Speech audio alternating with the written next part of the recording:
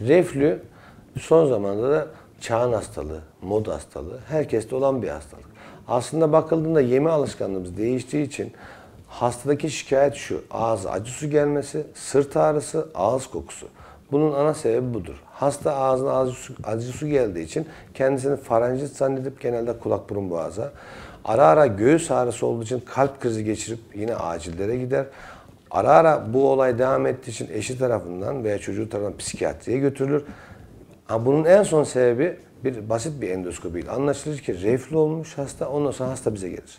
Bunun iki türlü tedavisi var. Bir tanesi ilaç tedavisi ama geçmeyen ilaç tedavisine rağmen geçmeyen tedavilerde Nissen dediğimiz 1940'larda Türkiye'de bulunan Nissen diye bir müellifin bulduğu bir ameliyat yöntemi hala dünyada bu uygulanıyor. Nissen ameliyatı yapılır. Çok zor bir ameliyat daha öncesinde ama son 20 yıldır buna yapılan laparoskopik tedavide yaklaşık 20-25 dakikalık bir ameliyatla yani Nissen dediğimiz kapakçı yani mide ile yutak borusu arasındaki kapakçığı tamir edip tekrar bir kapak yapıp ameliyat yapıyoruz. Bu da dediğim gibi 20-25 dakika sürüyor. Hastanın hastanede yatma süresi bir gün. Hasta ameliyattan çıktığında göğüs ağrısı, sırt ağrısı ve ağız acı su gelmesi ve ağız kokusu, geğirme gibi bütün şikayetleri geçiyor. Basit bir yöntem ve geçerlilik oranı yani dünyada geçerlilik oranı yaklaşık %95.